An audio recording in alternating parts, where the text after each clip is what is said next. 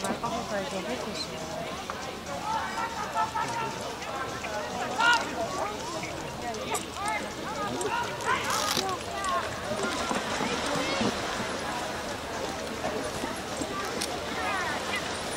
Poppen op dit moment een prachtige verlies in hindernis nummer 7. Ja. Ja, Die loopt er helemaal een beetje eh, We stappen dus in Die denkt, ja, ik heb er niet aan mijn hoofd zitten. Poppen in 7. En Francesca Den Elzen zien we in hindernis nummer 5 te baten.